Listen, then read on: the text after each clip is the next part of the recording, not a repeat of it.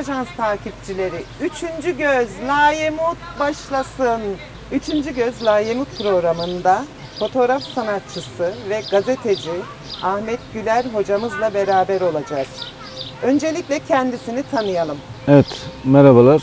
Ee, ben Ahmet Güler, fotoğrafçılık. Fotoğrafçılık nedir? Fotoğrafçılık ne zaman başladı? Ben biraz kendimi e, tanıtayım. Ee, ben e, 1970 doğumluyum. Yaşımı da söyleyeyim, yaşım da belli oluyor. Şimdi 1970 doğumluyum. Ben 8 yaşında fotoğrafçılığa başladım. Yani fotoğrafçılığın karanlık odası, filmi, A'dan her şeyle analogtu bilmem şu bu. Yani Jüpiter yani fotoğraftan e, takip edenler fotoğrafın konusunu bilenler bizim o karanlık oda dediğimiz kısmı daha iyi bilirler ve e, Jüpiter'i de iyi bilirler. Jüpiter yani burada marka şey de bizim daha önce bunlarla fotoğrafçılığa başladık ve şu anda da günümüzde de işte dijital, dijital analog fotoğraflar, fotoğraf makineleriyle devam ediyoruz. Ee, kendi stüdyom vardı. Ee, stüdyomuzu 2011 yılında kapattım ve bundan sonra da e, Halk Eğitim Merkezi'nde fotoğrafçılık eğitimiyle devam ettik ve devam ediyoruz şu anda. Fotoğrafçılık eğitiminde, halk eğitimde e, birçok öğrencilerimizi bunlar da e, beyasladılar. Onlar da fotoğraf e, çekimlerine devam ediyorlar ve bunlar da bizim gurur kaynağımız oluyor. Bunları yapıyoruz. Bunlar için buradayız. Ha, elimizden geldi. İşte e, sadece ben bileyim, bende kalsın bilgiler değil.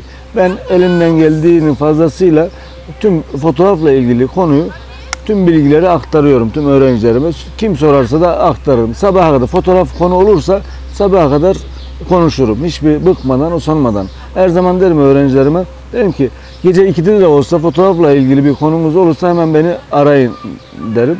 Ve e, bu şekilde de tam bugün e, neredeyiz? Mersin Mut ilçesinin Karekşi Mesire alanındayız. Burası doğal e, piknik alanı. Gerçekten e, ormanıyla, suyuyla, her şeyle mükemmel bir yer.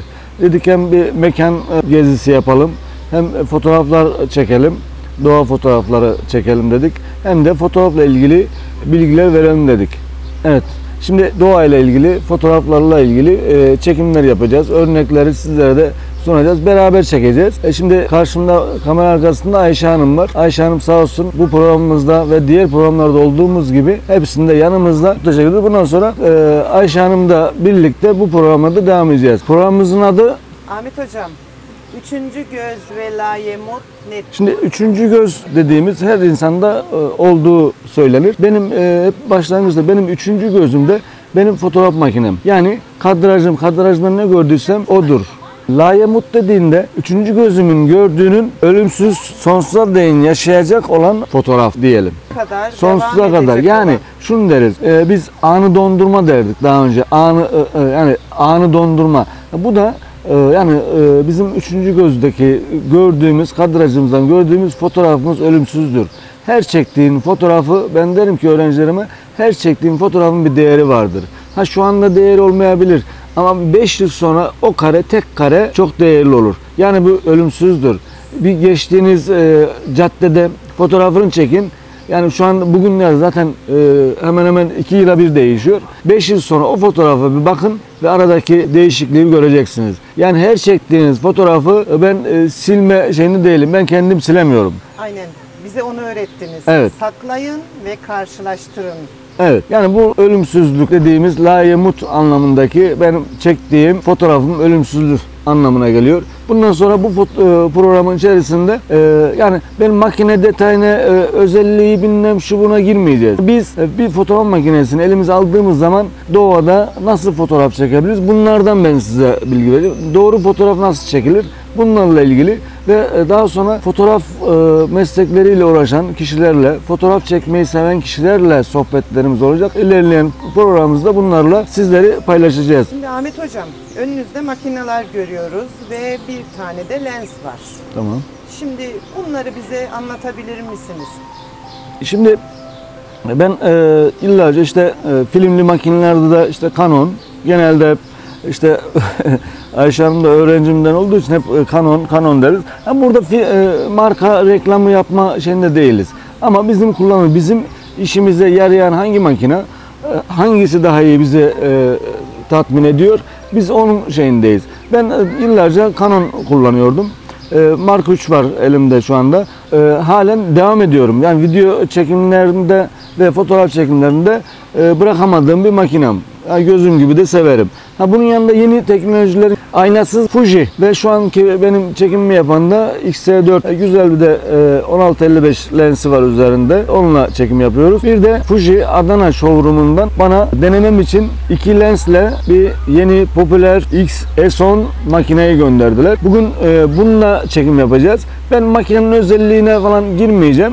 E, iki tane lens var dedim. Yani ben bunu o, makinemin e, TX4'e yedek görüntü çekiminde alma e, düşüncesindeydim. Sağ olsunlar Adana Fuji Showroom'dan Taner Bey ile görüştüğünde bana makineyi gönderdiler ve iki tane lens geldi. Bu lenslerin işte bizim bu e, doğada e, her şey var.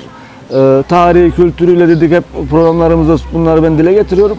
Ve kuş fotoğrafı da, kuş cennetimiz de var burada. Yani normal bu bölgede ardış kuşları genelde e, yoğunluk ve e, 110 türde kuş var. Bunu da belirleyelim. Yani burada hem dedim kuş fotoğrafı çekme şeyinde dedim hem de işte çekimde ikinci bir kamera olarak kullanayım diye böyle bir makine gönderdiler. Ee, inşallah alırsam da o çekimlerinde, video çekimlerinde sizlere zaten göstereceğim. Şimdi e, elimde iki tane gelen lens var. 50'ye 230 bir lens. Bir de e, 70'e 300 olan lensler var. Bunların e, ben e, çok şeyine girmeyeceğim, detayına girmeyeceğim. Başta da söylediğim gibi bununla ilgili çektiğim fotoğrafları size söyleyeceğim. Hangi ayarda, hangi estantane değerlerindeki çektiğim fotoğrafları sizle beraber inceleyeceğiz. Beraber karar vereceğiz. Yani ben şu lens iyiymiş, bu lens iyiymiş de demeyeceğim. Çektiğimiz fotoğraflara göre sizin hangisi hoşunuza gider? Keskinliği olarak ben hiçbir fotoğraflarda çok oynamayı e, tavsiye etmiyorum. Çok oynamıyorum. Eğer ki ben burada ne çektiysem o fotoğraftır genelde. Kadrajımda olsun, şey olsun. Ha e, tamam işlem yapıyoruz da ne, ne işlem yapıyoruz fotoğraf üzerinde? Sadece isim yazacaksam üzerine o şekilde e, işlem yapıyorum. Başka türlü bu da nedir? İşte doğru e, kadrajı, ilk önce kadraj, doğru kadrajı, doğru estantane, diyafram, ISO ayarlarını verdiğin zaman senin e, bilgisayarda çok bir işlem yapmana gerek yok. Yani burada bu benim verdiğim ayarları bu lens mi gösterecek yoksa diğer lens mi daha benim istediğim fotoğrafları verecek? Bunları beraberce göreceğiz. Şimdi e, kuş fotoğrafı e, ve makro fotoğrafları her iki lenste de çekilebilir arkadaşlar. Bunlar şey değil. Ama e, yani bir kişi evin içerisinde bir kişiyi çocuğunuzu çekeceğiniz zaman bunlar biraz içeride e, yani bunlar geniş açı değil. Dar açı olduğundan ev içerisinde ha, dış dış mekanlarda rahatlıkla e, gezilerinizde rahatlıkla kullanabileceğiniz bir lensler bunlar genelleme toparlayarak şey yapayım. Yani burada konumuz lensin şu, şu lensi iyi olur bu lensi iyi olur demeyeceğiz dedik. Biz üçüncü gözümüzün gördüğü Lahiye Mut'un verecek olduğu kaliteye bakacağız. Bilmem anlatabildim mi? Umarım anlamışsınızdır. Şimdi e, ben e, şurada bir konuya değinmek istiyorum. Şimdi genelde kurslarda e, işte kurslar öğrenci kaydolunca işte hocam ben işte e, fotoğrafçı kursuna e, gelmek istiyorum. Fotoğraf kursuna gelmeden işte hocam makine ne alayım? Şimdi araba sürmesini e, biliyor musun? Ehliyetin var mı? Diyorum ben bu kişiye. Neden? Ya bir ilk önce fotoğraf makinesinin tutmasını, fotoğraf makinesinin e, özel e, e, fotoğraf makinesini bir tanı. Ondan sonra fotoğraf makinesi al. Ben hangi makineyi alacağım? Hangi tarzda fotoğraf çekeceğim? Hangi lens almalıyım? Bununla ilgili kursa gel. Ondan sonra makineyi bir tanı. Biz zaten uygulama çekimlerinde işte Ayşe Hanım da iyi bilir. Uygulama çekimlerine gideriz hafta sonları. Burada çektiğimiz fotoğraflar elimizde bizde yerdeki makinelerle çekim yaptırıyoruz ve o fotoğrafları halk eğitim merkezinde fotoğrafları değerlendirme yapıyoruz. Ben şuna şey. İşte örneğin Ayşe Hanım en fazla hangi fotoğrafı çekmiş? Kuş fotoğrafı mı çekmiş? Manzara fotoğrafı mı çekmiş? Yoksa makro fotoğraf mı çekmiş? Veyahut da e, insan fotoğrafı mı çekiyor? Ben bunları gözlüyorum öğrencilerde. Ve orada eleştirilerde de fotoğraf. İşte bunu ne amaçlı çektin? Öğrenci Diyaframı seviyorum. yani e, öğrencilerle orada eleştiri yapma. Ben her öğrencinin fotoğrafını işte hocam çok güzel oldu falan geldi. Muhakkak oraya bir eleştiri yaparım. Neden?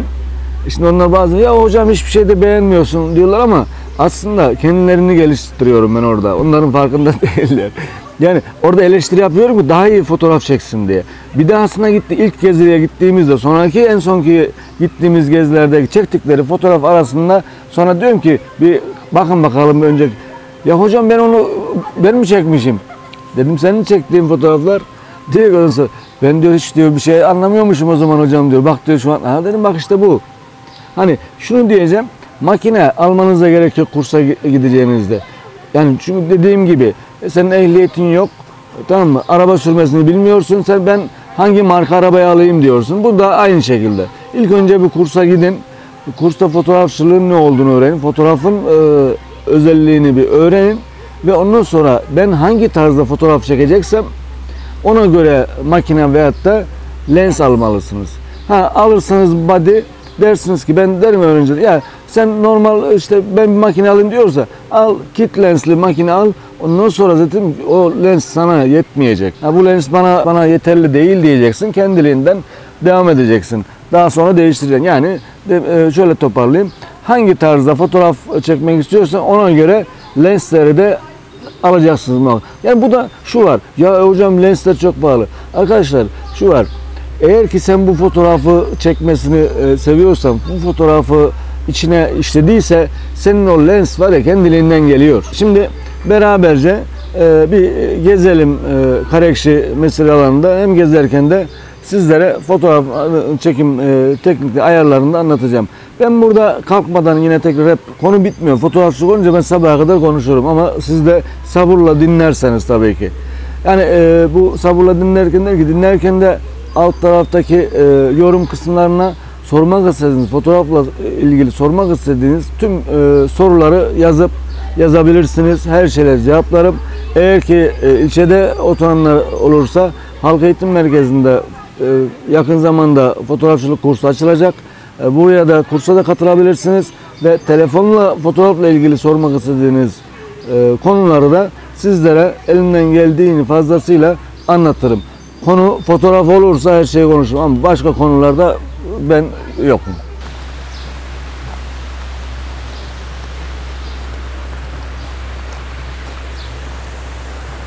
Evet şurada şurada bir güneş ters ışık olayı deneyelim. Ee, makinemiz manuelde. Şimdi S antenimi yükseltiyorum.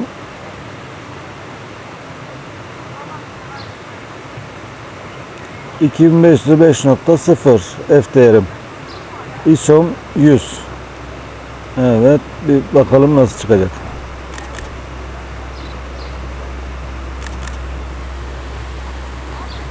Evet, güzel. Şimdi e, aynalı makine ve dijital şu anki e, avantajları işte çektiğimizi aynı anda görebiliyoruz. Daha önce filmli göremiyorduk. Çek, ayarlarını yap, sonra heyecanla banyosunu yapıyorduk. Sonuç ne çıkacak onlara bakıyorduk. İşte bir kuş ek gelirse onu da çekelim.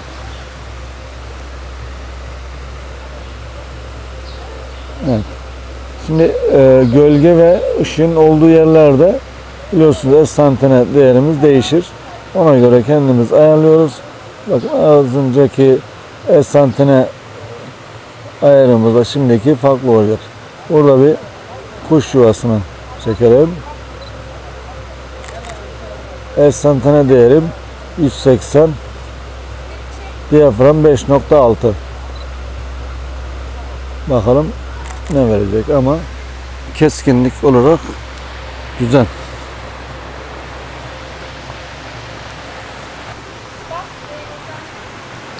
Şimdi bir de e, akan su çekimi yapalım. Hareketli. Şimdi e, akan su bulur haline getirme ve e, işte e, biraz daha hızlı esanteneler deneyeceğiz. Ben size onu fotoğraf aynı çektiğimiz ayarlarla birlikte göstereceğim. Şimdi şöyle burada genelde e, şu olur fotoğraf ayarlarında yani hangi tarz fotoğraf çekmek istiyorum nasıl anlatmam lazım İlk önce onu kendi kafanızda belirleyip ondan sonra e, çekecek olduğunuz oluşturmak istediğiniz fotoğraf ayarlarını yapacaksınız. Daha sonra da tek kareyle bitirirsiniz. Ama ben burada farklı farklı ayarlar çekeceğim. Elde çekeceğim. Düşük es santimetrede çekeceğim. Yani akan suya bulur vermek için. Ee, düşük ilk önce düşük es santimetrede çekeyim.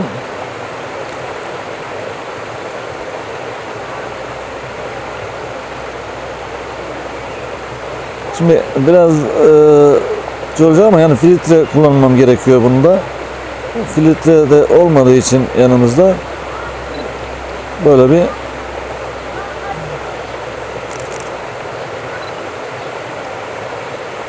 ...25 saniye esantene değerim çektim.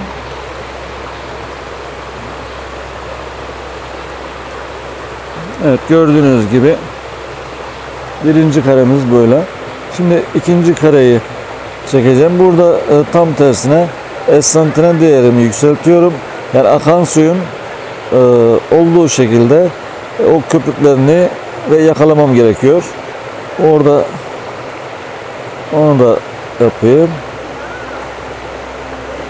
Hemen.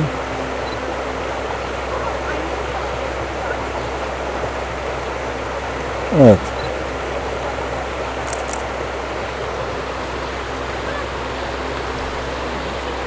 Evet. Önceki fotoğrafta hatırlarsınız. Bununla bakın köpük kabarcıkları daha net aldık. Yani burada e, nedir e, yaptığımız işlem? E, esantene değerimiz 1250'ye 5.6.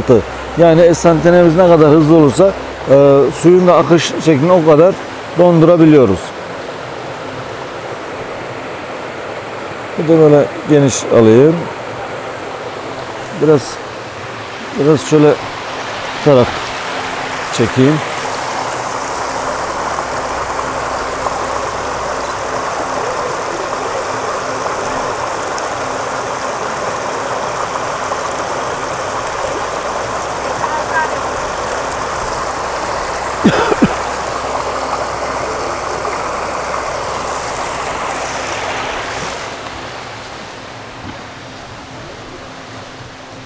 Evet. Bir tane daha kuş fotoğrafı çekelim.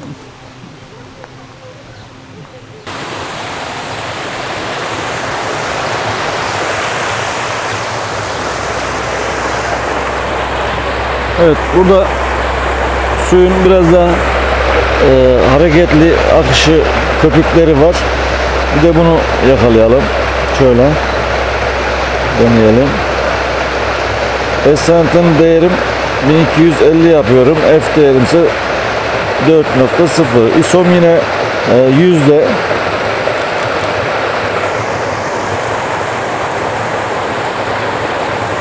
Evet sizin de gördüğünüz gibi yakaladık.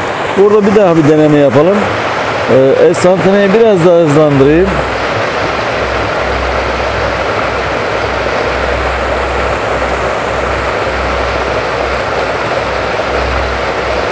E, santeneyi 4000 yaptım ve e, F değerim yine 4.0 e, aynı yeri bir daha çekiyorum.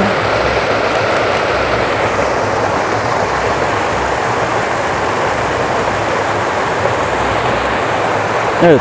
Ee, önceki fotoğrafla e, bunun arasındaki farkı fark etmişsinizdir siz de. Ee, burada nedir esanteneyi bak o hareketi yakalamak için biraz daha o köpükler daha belirgin ama buradaki e, esantene değerimiz yüksek. Yalnız burada e, fark ettiyseniz kenarlarda gölgeler biraz daha koyu çıktı.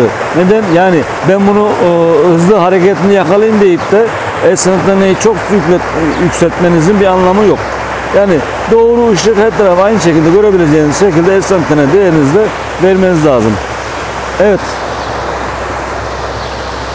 Fotoğraf işimiz bu kadar. Ahmet Hocam çekmiş olduğunuz fotoğrafları değerlendirebilir miyiz? Şimdi çekmiş olduğum fotoğraflar değil, e, burada e, lensi e, değerlendireceğiz. Fotoğraflar gayet güzel, makine güzel. E, makineyi Ayşe Hanım siz de hoşunuza gitti. Elde tutması bilmem şey. Çok. Gerçekten e, pratik, hafif. E, 70'e 300 lensle e, daha rahat fotoğraf. Ama biraz e, 50'ye 230 lensten biraz daha ağır ağırlık olarak. Ha bununla her işini görebiliyor bu lensle. Ama e, keskinlik olarak sorarsanız fotoğraf üzerinde, şimdi siz de zaten fotoğraflarda gördünüz. Ben üzerine e, e, dikkat ettiyseniz yazdım e, hangi lensle çekildiğini.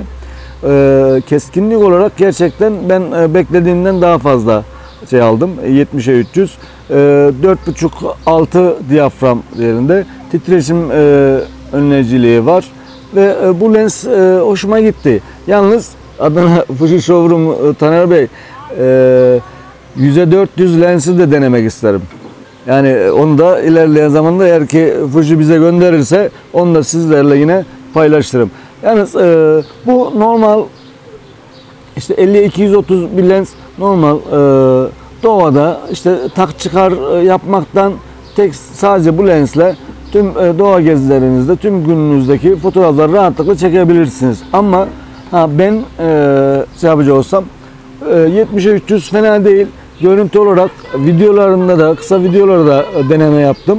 E, makineyi gerçekten uyum sağlıyor ve lens keskinliği olarak da beklediğimden biraz daha üstünde. E, bugünlük bu kadar. E, var mı Ayşe Hanım sormak istediğin? Ahmet Hocam bir sonraki programda tekrar görüşmek ümidiyle. Evet, e, bir dahaki programlarda da e, bol bol soru istiyorum Ayşe Hanım. Fotoğrafla ilgili. Eğer Benden mi? iz, iz- izleyiciler, iz- takipçilerinden. takipçilerimiz e, soru yapmazsa sorular senden bekliyorum. Fotoğrafla ilgili. Aklına ne gelirse sorabilirsin ikinci programda. Zor sorular hazırlayacağım. Evet, e, bizi sabırla dinlediğiniz için çok teşekkür ederim. E, başka bir programımızda buluşmak üzere. Üçüncü Göz Layemut programında kalın, takip edin. Biz yeni videolar, yeni içerikler üreterek sizlerin karşısında olacağız. Kendinize iyi bakın, ışığınız bol olsun.